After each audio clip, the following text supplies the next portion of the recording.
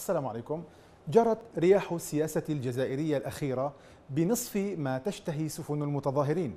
فالرئيس عبد العزيز بوتفليقة عدل عن ترشحه لولاية رئاسية خامسة لكن في الوقت ذاته أعلن في بيان رئاسي عن تأجيل الانتخابات الرئاسية إلى أجل غير محدد.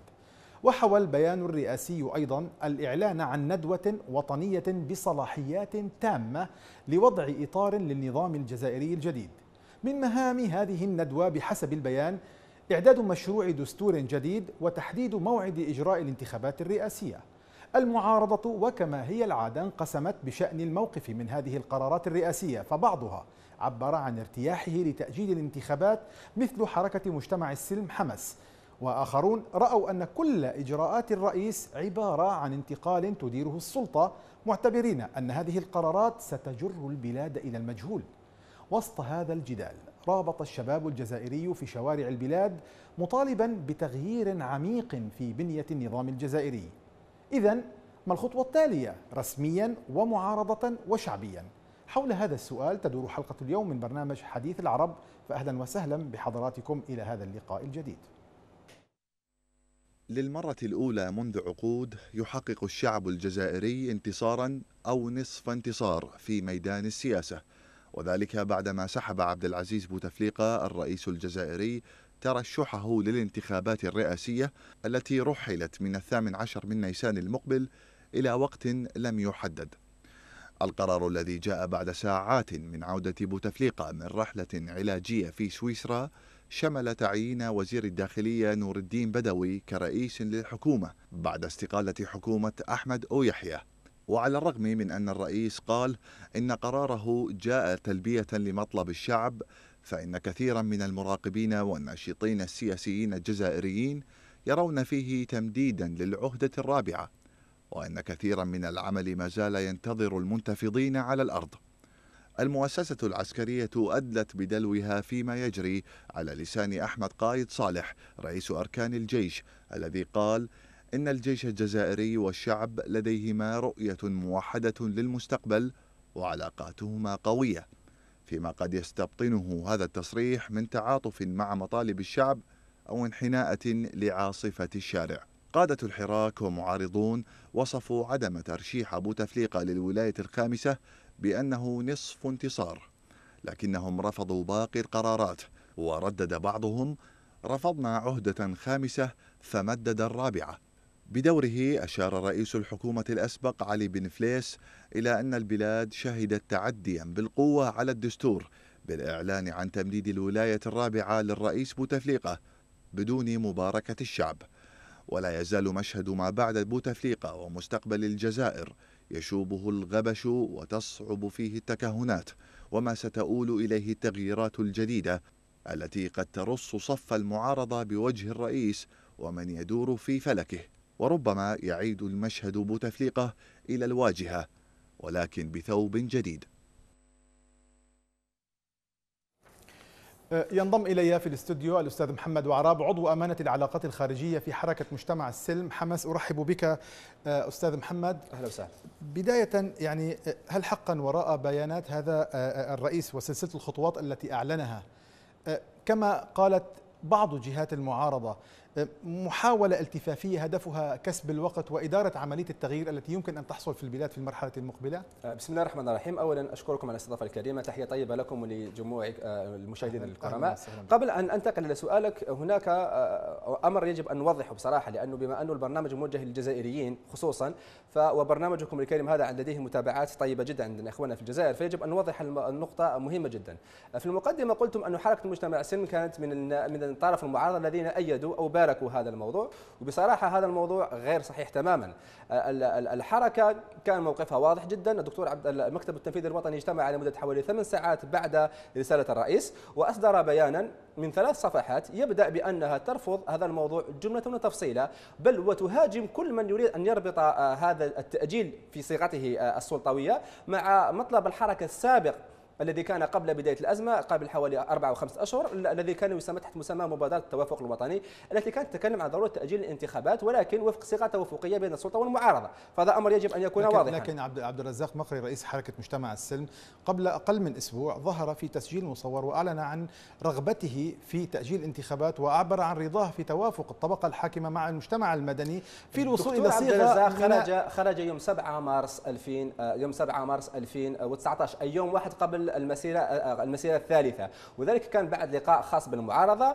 ثم في ذلك اللقاء طرحت فكرة التأجيل بين أطياف المعارضة بعيدا عن السلطة لأنه من بداية الحراك ما فيش أي تواصل بين السلطة وبين يعني المعارضة. هو هو التأجيل موقف أصيل لحركة مجتمع السلم ولكن مش وفق الصيغة التالية. هذه الصيغة السلطة الحالية هي السلطة يعني نحن كنا نريد مطلب هو تأجيل ولكن وفق توافق طيب. وطني مبادرة أكبر من هذه بكثير. نتكلم على على مرحلة توافقية نتكلم على رئيس حكومة توافقية نتكلم على على على مؤتمر وطني أو ندوة وطنية تكون فيها طيب. قيادات العمل الشبابي والسياسي المستقلين والأحرار والسياسيين والموالاه يعني إحنا فكرتنا أكبر من هذه بكثير.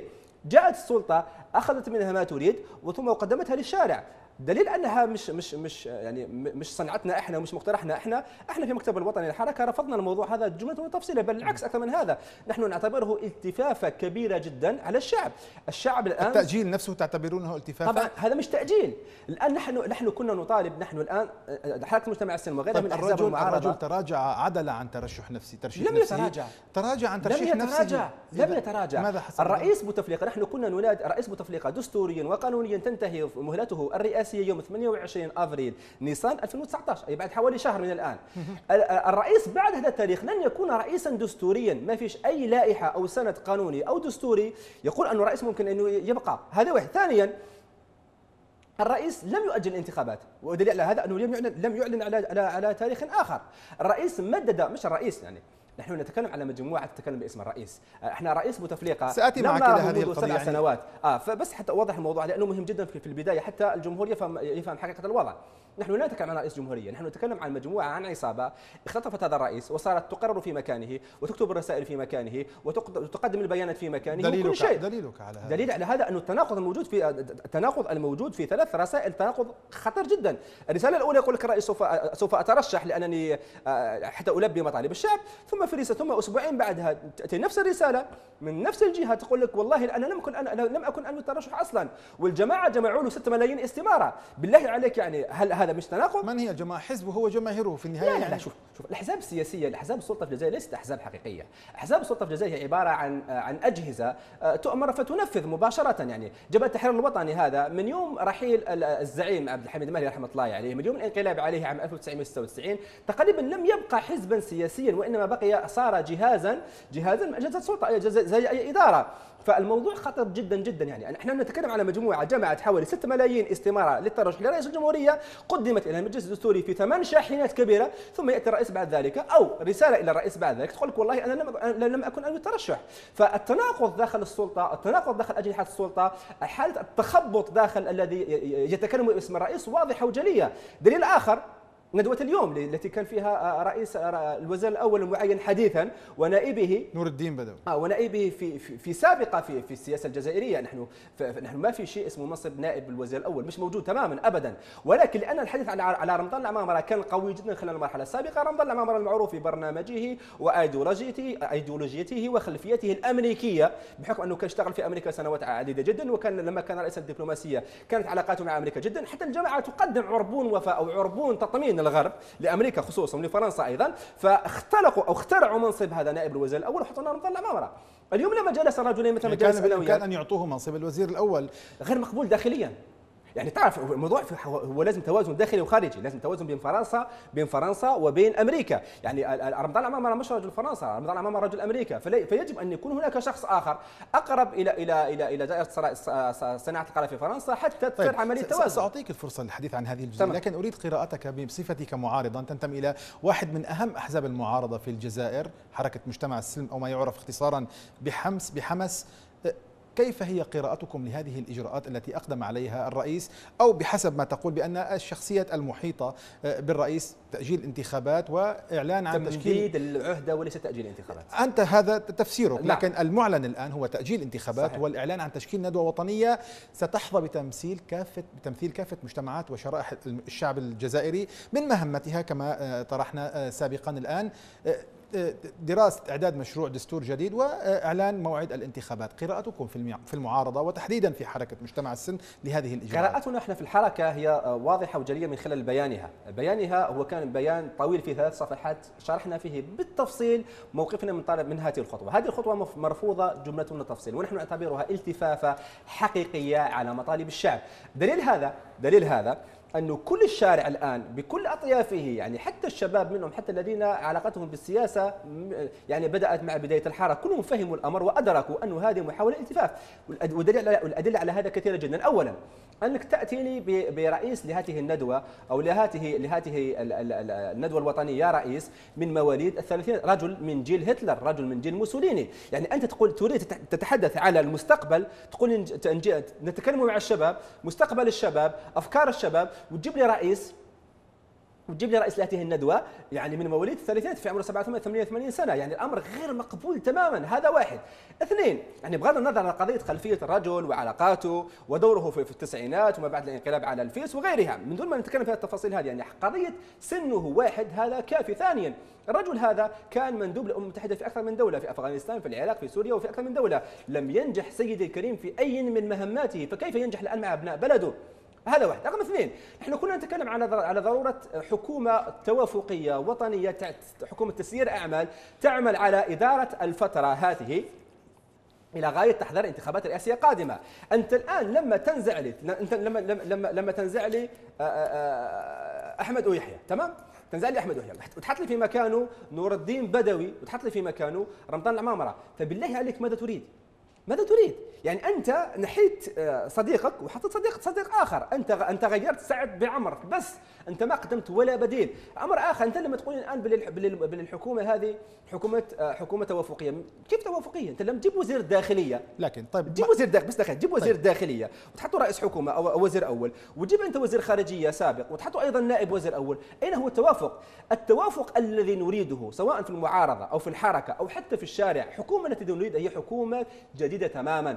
هي حكومة بعيدة عن بوتفليقة هي حكومة تبدأ مع مهامها ممكن الآن ولكن بشرط أنه يا إما يعلن الآن عن شغور منصب رئيس الجمهورية أو يتم الرئيس مهامه إلى غاية 28 من نيسان ثم بعدها مباشرة ندخل في مرحلة أعذر جديدة. أعذرني. يعني الآن موقف المعارضة كان ضعيفا جدا والمعارضة منقسمة على نفسها. كيف؟ قبل الانتخابات قبل الاعلان عن ترشيح عجزت عن عجزت عن الاتفاق على ترشيح عضو واحد يواجه بوتفليقه صحيح. وقالوا نحن مع الشعب ماذا يقول الشعب نقول صحيح. وراءه صحيح. وبالتالي الآن الشعب الجزائري المتظاهر قدم موقفا متقدما جدا على المعارضة ثمة من صحيح. يقول أنا في هذا الخطاب الذي مع الاحترام الشديد لما تقوله طبعا ثمة من يقول هذا رأي موجود في الشارع بأن هذا الرأي هو يتكئ على الشعب الآن رفعتم سقف الخطاب وكنتم من قبل تطالبون بتأجيل الانتخابات كان هذا تأجيل انتخابات مطلبا عظيما للمعارضة ومنها حركة مجتمع السلم الآن لم تعد تعجبكم هذه الصيغة تطلبون ما هو أكثر معتمدين على الشارع. أليس في هذا نوعا من كما يسميكم معارضوكم؟ طبعا يعني وحتى المستقلون نوعا من النفعية من الموقف الش... ركوب الموجة يسموها في يعني دعنا نسميها النفعية أو ركوب الموجة كما تقول يعني. شوف سيدي الكريم السياسة في الجزائر لم تبدأ من 22 من فبراير حتى نكون متفقين. يعني أحزاب المعارضة وغيرها إحنا لما كنا نعارض العهدة الرابعة نحن لم نبدأ معارضتنا من العهدة الخامسة. نحن عارضنا العهدة الرابعة وخرجنا إلى الشارع في العهدة الرابعة قبل خمس سنوات. يعني ومثل ما نقول بتزيد حفا ورجلينا رايحين جايين في الطرقات مع الناس مع السلطة مع غيرها حتى حتى نشرح للناس خطورة الدفع برجل مريض. رجل يعني آه، حالته الصحية لا تسمح له حتى بإدارة نفسه فكيف بإدارة قارة بحجم الجزائر؟ نحن كنا نشتغل في تلك الفترة حسب ما هو متاح يعني لا تنتظر أنت من حزب حتى إذا كانوا عدد أنصاره 100000 200000 500000 ماذا تنتظر منه؟ تنتظر منه أنه يعني يعتصم في الساحة؟ ما فيش ولا حزب في العالم كان ممكن يقوم بالدور هذا، الحزب السياسي يشتغل وفق الواقع وفق أدوات الواقع وفق السقف وفق الفرص التي تحق التي هي موجودة في ذلك الوقت ونحن ولله الحمد منا لم يعني لم نترك ولا فرصة ممكن أن نستغلها ما استغلناهاش كانت هناك كانت فكرة مقاطعة الانتخابات في 2014 وقطعناها. فكرة المشاركة في الانتخابات بقوة بعدها وشاركنا. فكرة أنه الآن نحن ترشح نحن الآن كنا مقدمين رئيس الحركه كمرشح ولكن في آخر محط في لما تأكد لنا انه أنه الجماعة داخلة بالوحده الخامسة انسحبنا أيضا. يعني في نهاية الموضوع الحزب السياسي هو عنده المناورة وفق ما هو متاح. الآن مع مع الحراك الشعبي المبارك هذا الآن مع هاته مع هذا مع هذا الحراك الذي ممكن توافق وأكيد توافقني فيه الموضوع أنه راقي إلى درجة غير طبيعية. يعني من المستحيل أن نبقى نحن على على على, على مقتنع. لأنه إحنا قناعتنا السابقة لا مش شوف شرط شرط من القناعة وبين الآلية وال إحنا قناعتنا كانت أنه ضروره الذهاب هذا ضروره ذهاب النظام هذا منذ السابق. ولكن ما عندناش الآلية في ذلك الوقت حتى ندفعه إلى الذهاب. أستاذ فماذا نعمل؟ أستاذ محمد وظيفة المعارضة كما هو معروف لدى الجميع جميع المراقبين وجميع المتابعين وهي من أدبيات السياسة أنه عندما ينشأ شغور سياسي أو فراغ سياسي في البلاد أن تنزل وتتحدى وتحاول أن توجه جماهير الشعب بما فيه صالح البلاد. الان الآن معذره في العاصمة. فقط أكمل, أكمل سؤالي. الان في العاصمة. الآن المعارضة تقول الآن المعارضة تقول نحن ليس لدينا مبادرة. شوف. ما يقوله الشعب لا نحن نوافق عليه. هذا خطاب المعارضة. هذا خطاب المعارضة. أنت لا تختصر المعارضة. حركة مجتمع السلم هي جناح من المعارضة. أنا أتكلم عن حركتي. نعم. أنا مسؤول عن كلامي. الآن نتكلم عن المعارضة. المعارضه شوف سيدي نعم. نحن إلى الآن تعرف أنه إلى الآن قانونيا في القانون الآن الحراك أو المسيرات أو التجمعات في العاصمة ممنوعة إلى الآن. يعني الملايين التي تخرج إلى الآن هي أمر واقع مش قضية انه تم أن السلطة سمحت أو ما سمحت لا ابدا. إحنا لما كنا نحاول الخروج لما كنا نحاول الخروج كنا نقمع عند باب المو... عند باب المقرات. يعني خرجنا عشرات المرات ولكن كل مرة كنا نقمع عند عند المقرات. وكنا إخواننا وشبابنا كانوا يرفعون إلى السجن يعني مش سجن ولكن تعرف اعتقالات لساعات أو أيام ثم يطلق سراحهم فيما بعد. ف... فلا أدري أنا ما الذي كان يجب القيام به وما كنا نقوم به. كنا نحاول جمع تجمعات داخل القاعات وحتى أن التجمعات داخل القاعات الكبيرة لم يكن يعطى لنا تصريح. فشوف العمل العمل السياسي في الجزائر قبل الحراك يعني يعني آه، من الظلم مقارنته بما يحدث الآن. يعني تماما من الظلم. نحن أي شيء كان ممكن الحزب السياسي أن يقوم به معارض نحن كنا نقوم به. نحن حتى داخل البرلمان. تخيل داخل البرلمان. لما نوابنا يجوا يتكلموا نوابنا يجوا يجوا ينقدوا الحكومة يجوا ينقدوا اداء الحكومة وش يعمل رئيس البرلمان؟ يقفل لهم الميكروفون. يدفع الميكروفون. طب كيف تشارك في حكومة يعني يدفع حالو... ما شاركنا في حكومة إحنا. يعني أقصد إنه في. في عملية سياسية كيف تشارك في عملية سياسية؟ هذه حال الحكومة فيها. يعني لا تقدر المعارضه ولا فرق بين المعارضة لا تشرعن أنت هذه فرق الحكومة؟ بين المعارضة وفرق بين المقاطعة. إحنا إحنا لم نكن ندعي ندعو إلى مقاطعة العمل السياسي في الجزائر. ابدا. وهذا خطأ كبير. وإلى الآن نحن نعتبر إنه خطأ. بل طيب. الكثير من الآن من الأحزاب والشخصيات تقول انه مقاطعة هي التي جعلت طيب أنا الشارع الجزائري يصل إلى هذا الحد. محمد أرجو حتى لا يتحول الموضوع إلى مرافعة عن المعارضة أو إلى تقديم بيان انتخابي أي شيء شبيه من هذا. ما فيش انتخابات نعم. أصلا يعني. أريد أن أقول لك يعني أن أسألك عن نعم. نعود إلى موضوع نعم. الرئيس الجزائري. ماذا كان يمكن أن يفعل الرئيس الجزائري بخلاف ما فعله في هذه المرحلة؟ ما الذي كان ينبغي أن يفعله أكثر من بسيطة جدا. بسيطة جدا يعني. كان ممكن يا إما امرا يا إما يعلن أنه لا يستطيع استكمال عهدته الحالية فندخل الآن في المادة 102 من الدستور. يعني تكون فترة فترة انتقالية 45 يوم يكون فيها رئيس الدولة هو رئيس مجلس الأمة ثم تتبعه ب 90 يوم حكومة تصريف أعمال 90 يوم نحدد خلالها انتخابات رئاسيه مسبقه هذه واحدة. أو أنه كان له يمكن أن يكمل عهدته ما في ذلك أدنى إشكال ولكن الآن يقوم بتعديل حكومي حقيقي يأتي بشخصيات توافقية بين السلطة والمعارضة ومقبولة عند الشعب لأنه الآن صار الشعب صار يعني ال ال ال هو هو هو الذي يجب أن أن أن, أن يرضى يعني يرضى مش المعارضة. يعني الآن يعني أي أي خطوة تقوم بها السلطة هي يجب أن تكون موجهة إلى الشعب راسا لا تكون موجهة إلى إلى المعارضة. فتجيب شخصية وفيها الآن السلطة فيها من الشخصيات الشريفه فيها من ناس نظاف فيها من الناس الذين لم يمسهم الفساد المستشري في العشرين سنة الأخيرة أو خلينا نقول على الأقل في العشر سنوات الأخيرة. هذه فيها هناك موجودة. ثم هذه الحكومة هذه تمشي في تسيير حكم تسيير الاعمال تنظم انتخابات مسبقة بعد فترة معينة. هذا ما كان يجب أن يكون. أما هذا اللهو أم هذا هذا العبث اللي صار فيه الآن انه الرئيس يعني يمدد رجليه بشكل غير دستوري يعني إحنا كنا نقول لا للعهده الخامسة فصرنا نقول الآن لا لا, للعهده الرابعه ونص. يعني شوف وين وصلنا الموضوع. يعني إحنا قلنا كل يعني الرئيس هذا أو الذي تكلم باسم الرئيس الذي قال في في الرسالة الثانية قبل أسبوع قال لك والله ترى شوف انا إحنا رئيس بوتفليقة هو مرشحنا أو أنا مترشح انتخبوا عليا ثم بعد سنة إن شاء الله لكم انتخابات انتخابات رئاسية مسبقة في يعني في في, في جنون يعني. طب ما الذي يعني بما أنه الشارع رفض الموضوع هذا في الجمعة التي بعدها نعم. فماذا قالوا؟ في المعارضه قال الان نمدد. في المعارضة ما الذي يزعجكم؟ عندما يقول الرئيس إنه سيدعو إلى تشكيل ندوة تمثل جميع شرائح المجتمع الجزائري وبالتالي تؤسس لمشروع دستور جديد وتدعو إلى انتخابات جديدة. نحن يعني الرجل لم يستفرد بالقرار. الآن نحن الآن يا سيدي الكريم لا نريد لا نريد يعني تعدي على الدستور الفاضح بهذا الشكل. يعني صحيح أن الدستور هذا تقريبا هو غير معترف به بشكل أو بآخر لأنه في النهاية هو صار صار زي زي المسودة يعني كل ربع ساعة يغير. ولكن حتى وإن كان ذلك يعني حتى اعطونا شوية قدسية على الأقل. يعني رئيس بوتفليقه طيب معلش نحن الآن لا نريد أن يعني لا نريد أن نحاسب هذه السلطة ها لا نريد أن نحاسب هذه الجماعة على على الفساد وعلى وعلى النهب وعلى السرقة وعلى يعني على التراجع البلاد الفظيع في خلال 20 سنة الأخيرة. لا نريد ذلك تماما. نحن نريد الآن إيقاف النزيف. الجزائر تنزف أخي الكريم تنزف بنطاقاتها تنزف بشبابها تنزف بملايير الدولارات التي تهرب يوميا تنزف عن طريق الطاقات والعقول التي تهرب من البلاد يوميا تنزف عن طريق حالة اليأس الموجودة في البلاد الانتحار الموجود داخل البلاد. يعني كل شيء الآن في الجزائر صار مريض وكل شيء الآن في الجزائر يعني حتى الرئيس الرئيس في 20 سنة يعني هل يعقل في 20 سنة حكم؟ ما قدرش يبني مستوصف يعالج فيه. ما قدرش يبني مستشفى يعالجوا فيه أبنائهم. يعني بعد 20 سنة من الحكم يعني وزير الصحة في الجزائر زوجته تلد في فرنسا يعني بعد 20 سنة من الحكم الرئيس كل ربع ساعة يعني حتى باش ياخذ باراسيتامول ولا ياخذ بانادول إكسترا لازم ياخذها في جناب. يعني بعد 20 سنة الفلوس الجزائريين كلها صارت برا. يعني غير معقول الموضوع هذا غير معقول. نحن الآن الشارع مع مع المعارضة اللي هي الآن جزء من الشارع. نحن لا نطالب بمحاسبة الناس هذا نحن نقول لهم يا سيدي روحوا. خطونا خلونا tranquille خلوا البلاد tranquille هذه. dégage يا سيدي. ما راناش حابينكم خلاص. ما راناش حابين نحاسبوكم. بنفسكم ما حابينكم تبقاو على قلوبنا. خلونا نحكموا بلاد بأنفسنا. يعني خلونا نحاولوا نسلكوا البلاد. إحنا منذ حوالي أربع أو خمس سنوات والناس والشرفاء في البلاد هذه رجليها حفات رايحة جاية. تقول يا ودي خافوا ربي. البلاد في 2020 ماشية إلى كارثة. الآن الحكومة صارت تصرف الفلوس. تخيل تخيل تخيل.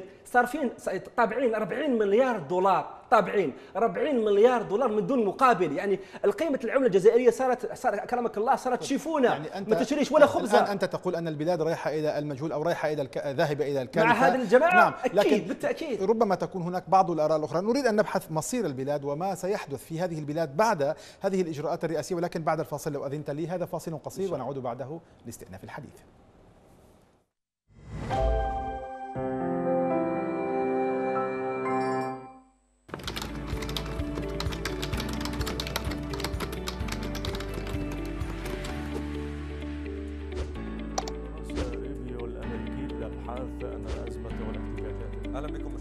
الكرام إلى حلقة جديدة من تواصل دوت كوم. أهلا بكم مشاهدينا الكرام في هذه الحلقة من طاولة الحوار والتي سنتحدث فيها مسألة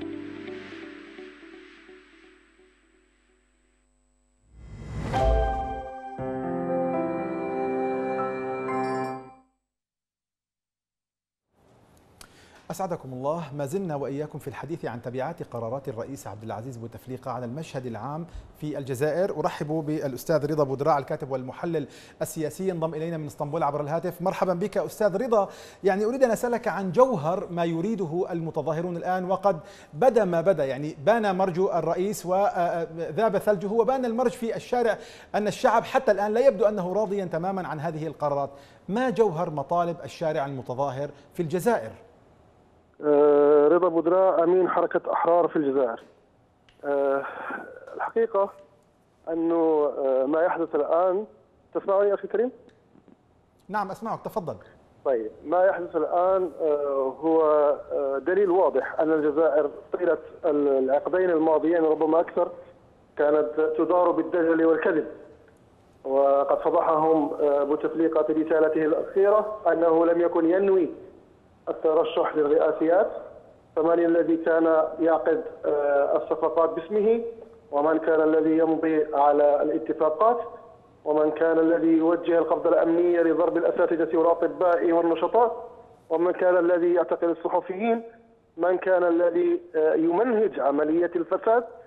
واضح أن هناك عصبة اختطفت الرئيس اختطفت كرسي الرئاسة واختطفت ملفه الصحي والآن تريد أن تختطف إرادة الشعب. كان الشعب يطالب بلال الخامسة وإذا بهذه العصابة تأتي بحل معلب من الخارج. طيب أنا أستاذ رضا أستاذ رضا باعتبار أنه لا يوجد من يمثل السلطة في هذه الحلقة فأرجو الابتعاد عن لفظ أو التوصيف القيمي من مثيل عصابة أو اختطفت الرئيس ويمكنك أن تعبر ما دون ذلك عما شئت. تفضل.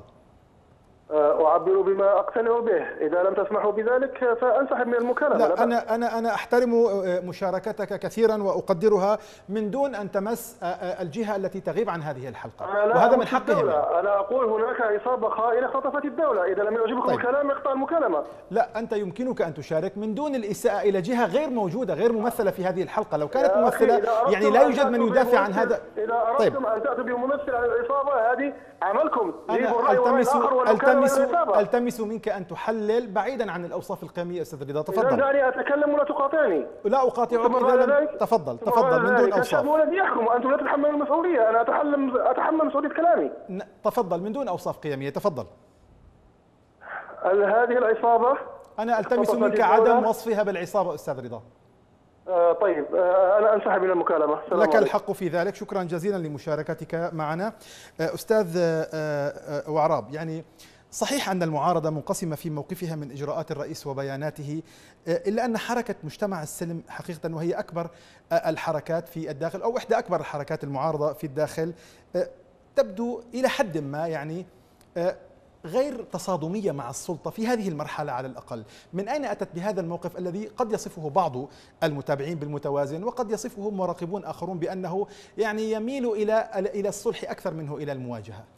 والله نحن حسمنا أمرنا داخل داخل الحركة حقيقة أنه آه، حكاية موضوع آه، الصلح أو غيره هذا هذه مواضيع يعني صحيح نقدرها نحن على مستوى القيادة ولكن من من المستحيل بمكان أن نأتي بأي خطوة يعني عكس ما هو موجود الآن في الشارع. مستحيل. هذا لا يعني أن الشارع آه، هو الذي يحدد خط الحركة وعملها وكذا. ليس بهذا الشكل. ولكن الآن نحن وصلنا إلى مرحلة نحن طول حياتنا طول حياتنا آه، ندعو هذا الشارع للحراك ندعو هذا الشارع للمشاركة في العملية السياسية. ندعو هذا الشارع أن تكون له موقف أن تكون له كلمة. صحيح كنا متخوفين سابقا من إمكانية التلاعب بأي حراك في الشارع ولكن الآن أثبت الشعب الجزائري أنه آه، آه، أرقى وأكبر وأوعى من أنه يستوعب من أي فصيل كان أو أي أو أو يحرك يعني يعني يعني ينحرف أي شخص كان أو أي كيان كان بحراكه السلمي. بعد ثلاث جمعات يعني ما سالتش فيها ولا قطره دم ولله الحمد والمنة. العائلات كانت بأولادها وأبنائها ونسائها وتتحرك عادي في الطرقات. لذا فموقفنا إحنا سوف يكون منسجما وبإذن الله عز وجل هو دائما كذلك ولكن سوف يكون منسجما بشكل واضح، نحن لسنا لسنا أعداء للسلطة تماما.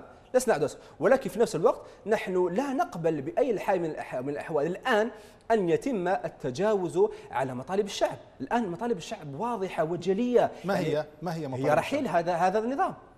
هي نحن لا نطالب بإسقاط النظام. لا نحن نطالب ببناء نظام جزائري جديد. يعني ما الفرق بين رحيل النظام وإسقاط النظام هنا؟ شوف النظام الجزائري آه، إذا تكلم عن النظام في الجزائر بشكل عام وبشكل واضح وبشكل دقيق يجب ان أن نضعه فوق الطاولة ونشرحه يعني. آه، النظام في عمقه هو يمتد إلى أكثر من 60 سنة. يعني من يعني من غير المعقول. آه من غير المعقول. حديث الآن يعني يعني الآن آه، كل واحد يشتغل في الدولة هذه منذ منذ منذ 62 مكانه برا. مستحيل الموضوع هذا. ولكن هناك مجموعة يعني اختطفت قرار الرئيس اختطفت حتى الرئيس هذا يعني نحن نتكلم عن الرئيس مع جاء للجزائر بالزغاريد. جاء الجزائر بال بال بال والأحضان الشعب مفتوحه ليه يعني جاء الجزائر ما كانش واحد يتكلم معه أنا سألتك ما الفرق بين إسقاط النظام ورحيل النظام جاي جاي جاي نعم. نعم. ولكن خلال مرضه الأخير تقريبا في العشر سنوات الأخيرة من حكمه يعني يعني صار يتكلم باسمه وطفى إلى السطح وصار في في أماكن صناعة القرار شخصيات فاسدة شخصيات يعني لديها من ملفات يعني جهرا نهارا وشخصيات معروف عليها الموضوع. هذا مش قضية يعني مش قضية أن يتكلم على أسرار أو يعطي أسرار الدولة لا تماما ابدا.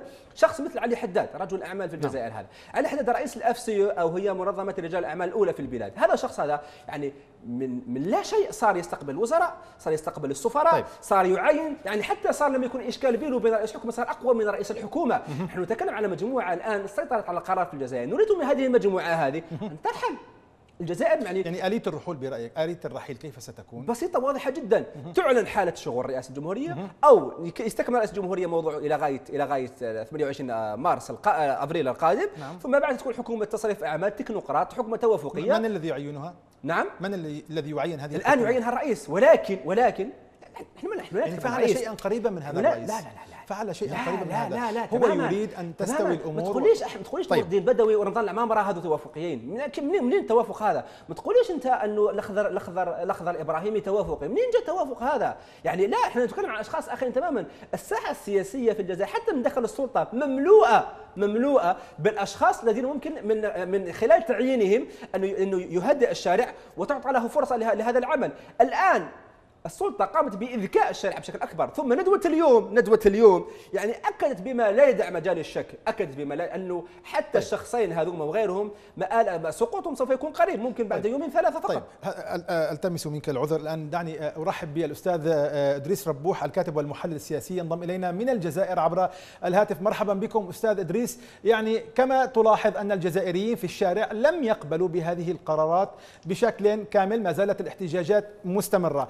لماذا رفض الجزائريون في الشارع هذه القرارات وما جوهر مطلب المتظاهرين؟ بسم الله الرحمن الرحيم. تحية لك ولجميع الضيوف المشاهدين. أهلا وسهلا. آه، أنا أعتقد أن الشعب الجزائري ما زال في الشوارع لأنها لم تلد مطالبه لأن الرسالة لم تصل أو وصلت والسلطه مصره في غيرها. بمعنى السلطه لا تريد أن تستجيب لمطالب الشعب الجزائري لهذا الشعب الجزائري الشعب الجزائري يريد أن آه، يحقق جميع مطالبه في تكبير دوله القانون ودوله الديمقراطية. وسيكون جمعة غدا إن شاء الله هي جمعة الحسم وجمعة الاستقالة الدعوة لاستقالة الرئيس وذهاب المجموعة. كما قال الشعب الجزائري لابد أن ترحلوا جميعا وليس هناك أي خيار من هي من هي المجموعة في نظر المتظاهرين أستاذ إدريس؟ من هي المجموعة في نظر هذا المتظاهرين الذين يطالبون بهذه المطالب؟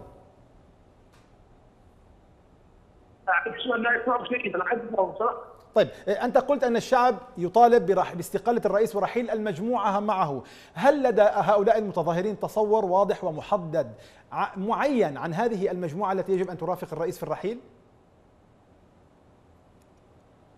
هي المجموعة واضحة لأن الشعب يعرفون المجموعة أو المجموعة المحيطة بالرئيس وهي القوى السوريه التي استولت على مؤسسات الدولة وعلى رئاسة الجمهورية بطريقة غير قانونية وغير دستوريه وهي معروفة سواء من مستوى رئاسة الجمهورية أو الحكومة. الآن نحن تشتغل خارج الشرعية الدستوريه وبالتالي آه، لابد أن تذهب ولابد أن تسهل للجزائريين مهمة الانتقال آه، انتقال السلطات وفق احكام الدستور. هذا هو المطلوب. إن كانت تريد أن يكون لها مخرج مشرف من هذه الأزمة. طيب الفريق أول أحمد قايد صالح يعني رئيس أركان الجيش الجزائري أعطى تصريحا مهما وذا دلالة عندما قال إن لدى قيادة الجيش والشعب الجزائري رؤية موحدة حيال المستقبل حيال مستقبل الجزائر. كيف استقبل المتظاهرون هذا التصريح وعلى أي وجه فسروه؟ إذا سالت السؤال جيدا لأن مرض بشكل طيب. جيد. دعني أعيد السؤال آه، عليك مرة أخرى. وأنا أعرف أن هناك مشاكل فنية في الاتصال مع الجزائر ربما بسبب الأوضاع احتقان الأوضاع الآن. ربما طبعا أعيد السؤال عليك وأرجو أن تسمعني بشكل واضح. الفريق أول أحمد قايد صالح رئيس أركان الجيش الجزائري. صرح بكلام مهم وذي دلالة عندما قال إن قيادة الجيش الجزائري والشعب الجزائري يمتلكان رؤية موحدة حيال أو إزاء مستقبل الجزائر.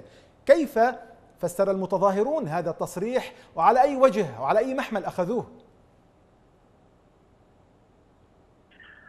شوف مقام الجيش الجزائري يكسب نقاط يكسب نقاط كثيرة لأنه استطاع أن لحد الآن يكون في موقف الحياد وأن يتعامل مع الحراك الشعبي تعاملا آه، حرفيا وتعاملا بحيث بحيث لم لم يتورط في أي انحراف. وبالتالي الوضعية المؤسسه العسكرية هي وضعية جيدة. وبالتالي يمكن أن تكون آه، تكون طرف وضامن للانتقال إلى الديمقراطية، قياده الجيش أن تواصل على الحفاظ على أمن البلاد وعلى امن هذه الموضوعات وهذا مما يحسبها منطقيه أكثر مع الشعب الجزائري الجزائري يريد أن تكون مؤسسة عسكرية مؤسسه قوية مؤسسة جمهورية وليس مؤسسة أي طرف سياسي معين.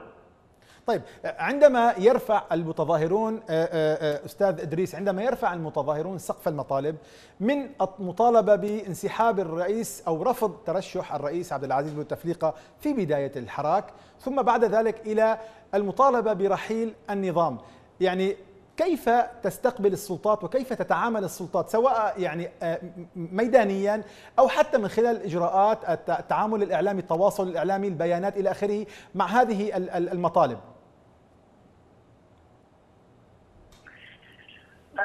يبدو لي أن لتدقيق الأمور ما زال الشعب الجزائري ما زال الشعب الجزائري يطالب برحيل بوتفليقه وشعاره هو رحيل المجموعة الحاكمة، الشعب الجزائري مستوعب للوضع السياسي بالتجديد مستوعب لسقف المقابل المسموح به مستوعب للامكانيه التي يمكن أن تتحقق. لكن إذا تمارست المجموعة المجموعه الحاكمة المجموعة هذه القوى الدستوريه في الاصرار على الدفع بالامور بالامور نحو نحو التعصب أكثر لانها تراهن على الدعم الخارجي الدعم الخارجي وقياد المؤسسه العسكريه في هذه المرحلة. أعتقد انها تجد نفسها أمام خيار واحد وحيد وهو أن تطالب ان أن يذهب الشعب الجزائري إلى خيار أكبر ويطالب بتغيير عن في النظام الجزائري، لكن لحد الآن المطالبه ما زالت في مستوى آه، ذهاب المجموعة الحاكمة وليس بذهاب النظام، أقول ليس الشعب الجزائري لا يطالب بذهاب النظام لأنه يفرق بين النظام الجزائري ككل والمجموعه الحاكمه، أعتقد حتى النظام الجزائري واطراف النظام الجزائري الأخرى ستضحي ببوتفليقه والمجموعه الحاكمه عندما تدرك لأنه لا يمكن حمايته إلى ما لا نهاية. طيب سأعود إليك أستاذ إدريس واعتذر للساده المشاهدين عن عدم وضوح الصوت بما يكفي بسبب المشاكل الفنية ربما من المصدر.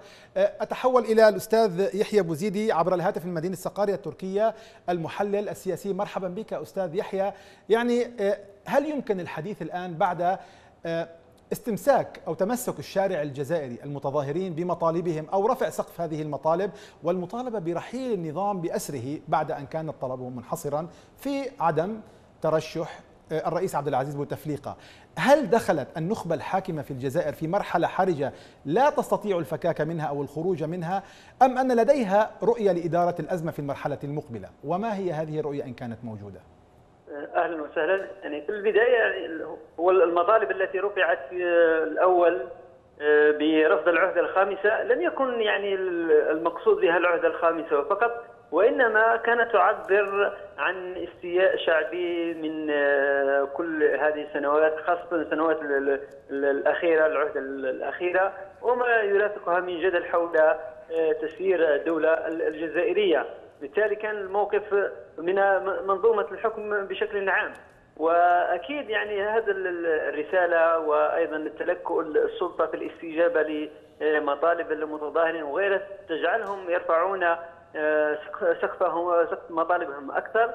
وهذا أكيد سيربك آه، السلطة وستجد نفسها في موقف صعب جدا خاصة وأن آه، يأتي كل هذا كما أشرنا في لقاء سابق في ظرف انتخابات رئاسية وبالتالي الحلول آه، من الناحية القانونية تجد الكثير من الإشكالات. لذلك آه، هنا يعني أبسط الأمثلة ما وقع في لقاء المؤتمر الصحفي لوزير الأول الجديد وكيف ارتبك كثيرا في الإجابة عن أسئلة الصحفيين. تقريبا يعني هذا هذا الوضع يجعل السلطة يعني أكثر ارتباكا وحلولها أكثر تعقيدا خاصة وأن ما يطلبه الشارع سقفه عال عال جدا.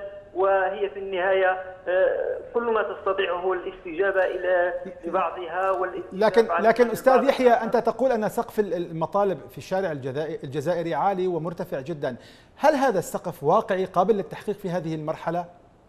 يعني حتى نكون موضوعيين هو ليس يعني ليس بهذه السهولة وصعب جدا وفي النهاية لابد أن تبقى بعض أجزاء إن صح التعبير من النظام أو مؤسساته أو غيره لكن ربما يمكن من خلال المظاهرات المستمرة يمكن أن تتنازل السلطة بشكل أكبر وتحقق على الأقل مطالب مثل تشكيل حكومة حكومة كفاءات مستقلة وأيضا لجنة مستقلة لتنظيم الانتخابات والتعجيل بوقتها. يعني ممكن تحقيق مطالب مثل هذا القبيل. طيب أعود إليك في الاستوديو. أستاذ محمد في ظل هذا الوضع المتأزم يبدو أن الجزائر حاليا على المرحلة الأقل المقبلة تتجه نحو الانسداد السياسي فيما يبدو. الشعب متمسك بقراره برحيل النظام فيما يبدو والسلطة لا تبدي أي إنصات لهذا الرأي قدمت ما لديها. في ظل هذه الثنائية إلى أين يسير الأحداث في الجزائر؟ إلى أين مرشحة أن تتجه في المرحلة المقبلة؟ والله هو حاجز الخوف الذي كان يراهن عليه أحمد ويحيى، أحمد ويحيى في الثامن عشر من من جونفي الماضي يعني كان في ندوة صحفية فقال قال لك الشارع هذا الشعب ما يفكرش فيه أصلا يعني. والشارع بما أنه الشعب موش مؤدب في مصطلح في في معنى الحديث ومش قادر ينظم نفسه وكذا فما فيش شارع. الان الحمد لله الشعب أجاب على أو يحيى بشكل واضح وجلي على أنه أرقى وأرفع من أنه ممكن يتكلم عنه شخص مثل هذا. الآن مع كسر حاجز الخوف الآن لا أتصور أن الشارع سوف يتراجع خطوة واحدة. على الأقل لو أن السلطة استمعت لمطلب واحد أو مطلبين اللذين رفع سابقا يعني قضية مثلا الحكومة التوافقية الحقيقية واللجنة المستقلة لتنظيم الانتخابات يعني على الأقل لو أن حققت المطلبين هذوما لكان ممكن الحديث على قضية تراجع أو قضية حوار أو غيره. ولكن الآن السلطة تراوغ وهذا ديدن السلطة منذ القديم. السلطة في 2011 بعد بداية الربيع العربي بعد ما جاءت بعد الأحداث ذات مطالب اجتماعية في الجزائر قدمت حزمة من الإصلاحات حزمة في ظاهرها رائعة جدا. نحن كحركة استبشرنا بها وحتى أننا شاركنا في الحوار. ولكن مع الوقت فرغت من محتواها وميعت إلى أدرى درجة وصلت يعني يعني لم تلمس حتى حواف السلطة بحد بسبب بسبب عدم وجود الضغط. لكن الآن آه حضر الآن الضغط. الآن بما أنه الضغط موجود فأنا طيب ف... إذا ما عفوا إذا ما حضر الضغط الآن لماذا لا تقدم المعارضة مقاربة معتدلة متوازنة فيها نوع من حسن الظن بالسلطة مستندة هذه المعارضة إلى الشارع القوي الذي يمسك بزمام الأمور حتى الآن؟ وبالتالي يعني الوصول إلى منطقة وسط مع هذا النظام. هي هي على حتى حتى تقبل تقدم المشا... المعارضة على مغامرة بين قوسين انه الشارع الآن سقفه لا يرحم، يعني أي محاولة من أي كان انه يدعي الوساطة أو يدعي أنه قادر أنه يمثل الحركة وغيره يعني هو يلقى مش معارضة وإنما حالة تسويد وتشويه، يعني حتى تقدم المعارضة على هذه الخطوة الجريئة والمغامرة يجب على الأقل على السلطة أن تقدم تقدم يعني تقدم آه، دليل حسن تدعم عرض طيب. حسن النيه الآن السلطة حتى راسها كما نقول إحنا حتى راسها في التراب وماشية. يعني قال لك مش عاوزين عهدة خامسة يلا خليكم مع الرئيس هذا إلى أن يأخذ الله أمانته. قال لك أنتم عاوزين تغيير حكومي لحي ويحيى وحط في في مكانه آه، بدوي في تغيير. يعني مستفز للسلطة. اليوم الأداء آه، نور الدين بدوي مع مع رمضان العمامرة أداء مخجل للدبلوماسية الجزائرية أداء مخجل لمن يمثل الحكومة الجزائرية هو أداء يمثل يعني يعطي إشارة حقيقية على أنه من يدير الحراك أو مدير من يدير السلطة خلف خلف الستار؟ طيب. يعني هو في ورطة حقيقية ولا يعلم ما يريد. الآن الشارع لن يتراجع. بالعكس الآن في دعوة أنه يوم الغد تكون هناك جمعة للحسم. يعني إذا الجمعه الماضيه خرجوا فيها 15 مليون إنسان على طيب. مستوى الجزائر تصوري انه حتفوت 20 مليون غدا إن شاء الله. هذا هذا كلام مهم وأرقام وتوقعات تعبر عن تفاؤل المعارضة. لكن السؤال الذي أريد أن أطرحه الشعب مش المعارضة. الذي أريد أن أطرحه على يحيى بوزيدي معي في إسطنبول. طيب الشارع متمسك برأيه ورؤوس كبيرة في المعارضة ربما على رأسها آه، علي بن فليس رئيس الوزراء الوزراء الأسبق رفض كل ما يجري واعتبر أنه مناورة من السلطة أو عملية إدارة الأزمة من قبل السلطة التي تريد أن تغير وفق معطياتها ومقاساتها وليس وفق ما يريده الشعب هل تتجه الآن المعادلة أو الصراع إن صح التعبير أو المواجهة بين السلطة وبين الشارع إلى الحل الصفري إما نحن وإما أنتم؟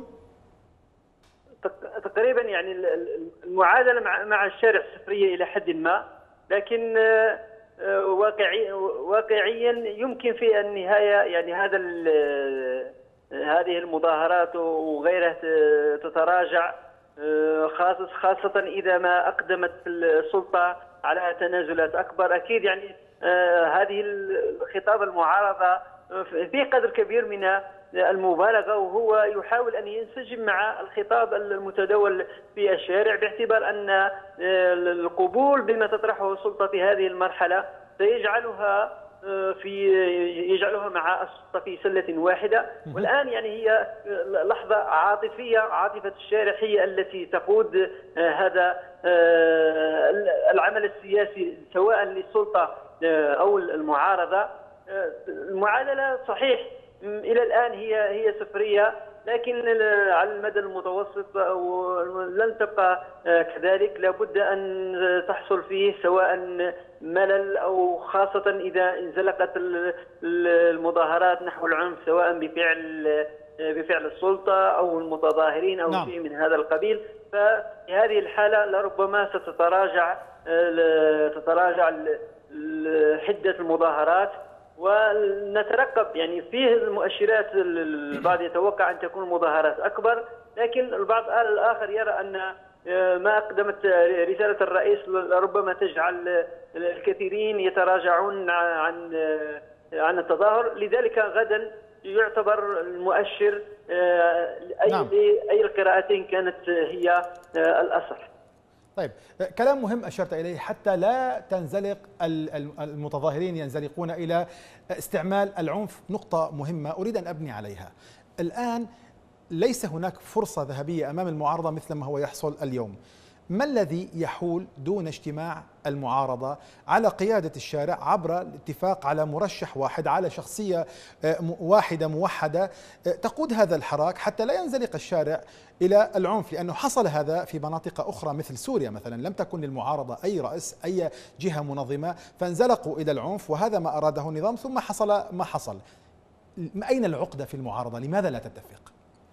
الآن الحديث مش حديث عن انتخابات أو عن مرشح حقيقة قولا واحدا. قيادة الشارع. لا الشارع يرفض الشارع يرفض حتى ناطقين باسمه منه هو هو هو شخصيا يعني. حتى الموجودين الآن ومن البداية في الشارع الشارع يرفض الموضوع هذا. الآن الحديث على قضية على قضية الحسم في في في في, في تسمية أو تزكية اسم أو اثنين أو مجموعة وأمر سابق لاوله بشكل كبير جدا. أكيد هي آه، مثل هذا الحراك آه، عدم وجود رأس في البداية هو عامل مساعد لإطلاقه ونجاحه وكان هذا ولله الحمد. ولكن مع الوقت تصبح عدم وجود قيادة نقطة ضعف بل نقطة قاتلة مثل ما حدث في كثير من المناطق. فممكن في أي لحظه من اللحظات أنه يخترق أو أو تكون هناك بعض الأسماء فتأخذ الحراك في اتجاه آخر. بدأت بعض المحاولات الآن. اليوم الأخضر الابراهيمي يقول لك أنا سوف أقوم بندوة غدا. شوف غدا ندوة شبابية في في في, في احد إحدى فنادق الجزائر في دعوات الآن وفي حالة غضب كبير بل هناك تهديد لكل من يشارك. يعني الموضوع الآن قضية أي شخص أو أي طرف ايا كان انه يبدأ يحاور السلطة الآن من دون أي ما تبدا السلطة أي تنازل طيب. صعب جدا يعني وقاتل. هذه الحدية أستاذ محمد هذه الحدية في النهاية أمر خطير على حتى المتظاهرين وعلى مستقبل الجزائر. صحيح. دعني أنقل هذا الموضوع إلى الأستاذ إدريس ربوح في الجزائر ثم أعود إليك. أستاذ إدريس آه، عدم وجود رأس لهؤلاء المتظاهرين وعدم وجود جهة منظمة يمكن أن تسيطر على هذا الاندفاع الشبابي الكبير في الشارع هل هو في صالح الثوار أو المتظاهرين أو المنتفضين أو المحتجين أيا يكن سمهم ما شئت هل هو في مستقبل الجزائر؟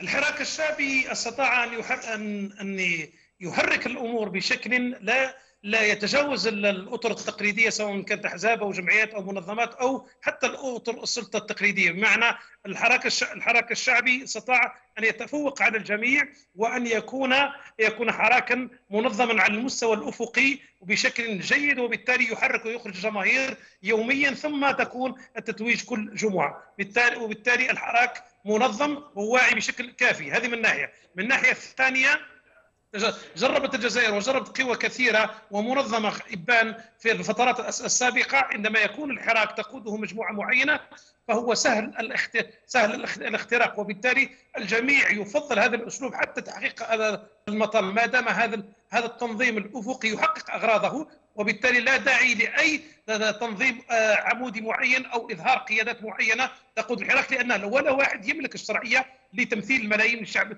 الجزائري وبالتالي عندما آه، يتم تحقيق المطالب بعد نعم. ذلك يمكن أن تتنظم الأمور بشكل نعم. آخر الأمر الآخر وضحت أن السلمية طيب. الاتفاق على السلمية والمحافظة على السلمية والاستفادة من التجارب السابقة لانتفاضة أكتوبر 88 ثم حدث 90 91 وثم بعد ذلك ما حدث في الدول العربية نعم. استفاد منه الجزائريون كثيرا وبالتالي ينظمون أنفسهم ويدفعون باتجاه تحقيق الأهداف والاجتماع على الهدف وهي القائدة في الموضوع. طيب أختم معك أستاذ محمد يعني هل يمكن للمعارضة كفرصة أخيرة أن تقدم مقاربة تقنع الشارع وتقنع السلطة وتنجي البلد مما من أي مستقبل مجهول ينتظره أم أن القيادة الآن صارت للشارع الذي لا يمتلك قيادة ووضع المعارضة وراء ظهره خليني أتكلم عن حركتي بشكل خاص. آه، نحن بالتأكيد لدينا مقاربة في الموضوع ولكن آه، لا لا نستطيع تقديمها الآن يعني خصوصا أن السلطة يعني يعني أعطت يعني أعطت الشعب بظهرها كما نقول إحنا بالجزائر يعني يعني أعطت الشعب ظهرها وهي ماضية في في مشروعها أو فيما تعتقده أنه الأنجح والأصوب لها. فمن من المستحيل تقريبا انه تقدم أي حزب أو فصيل أو جماعة أو أي هيئة على تقديم تنازلات أو على حتى محاولة محاورة السلطة وفي نفس الوقت السلطة هذه لا تعتبر من الشارع الشارع يرفع شعارات واضحة فيا إما السلطة هذه لا تسمع أو أن سمعها فيه غبش أو أنها لا تريد أن تسمع أصلا. فالمشكل ليس في المعارضة المشكل ليس في الشعب المشكل في هذه السلطة. المشكل في هذه الجماعة التي اختطفت الرئيس قولا واحدا تتكلم باسمه وتعلن القرارات باسمه وترسل الرسائل باسمه وتريد أن تودي بالبلاد إلى التهلكة. إذا أردنا وأردنا للجزائر حقيقة من مخرج يجب على هذه السلطة أن تخشى الله في هذه البلاد وأن تخاف ربي في هذه البلاد وأن تتخذ قرارا جريء. وسيدي ولا سرقتوا بصحتكم اللي طيب. اديتوا بصحتكم اللي كليتوا بصحتكم. يعني أخذتم مستقبلنا أخذتم ماضينا أخذتم مقدراتنا أخذتم حياتنا بصحتكم. ولكن أوقفوا هذا النزيف وخلينا وخلونا فرصه للمستقبل أشكرك شكرا جزيلا ونحن نرجو الخير كل الخير للجزائر الدولة والشعب. أعزائي المشاهدين وصلنا إلى ختام هذه الحلقة التي أشكر في نهايتها ضيفي في الاستوديو الأستاذ محمد وعراب عضو أمانة العلاقات الخارجية في حركة مجتمع السلم الجزائرية. وكما أشكر الأستاذ إدريس ربوح كان معي عبر الهاتف من الجزائر الكاتب والمحلل السياسي وكذلك من إسطنبول عبر الهاتف الأستاذ يحيى بوزيدي المحلل السياسي. كل الشكر لكم إلى لقاء مقبل بحول الله تعالى.